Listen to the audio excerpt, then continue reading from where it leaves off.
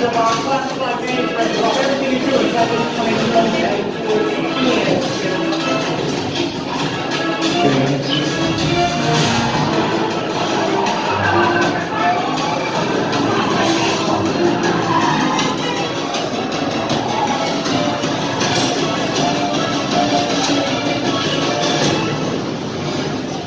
stand by for your Questor Alliance Group Homeland Security Lead Liaison, Nicolette Parsons. Thank you for agreeing to join this unique situation analysis team.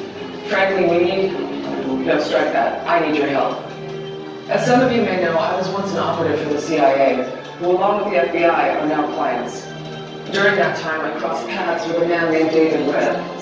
You probably already know of him by his company codename, Jason Bourne. As you move past all security checks and have clearance for this data, allow me to remind you of who, or more importantly,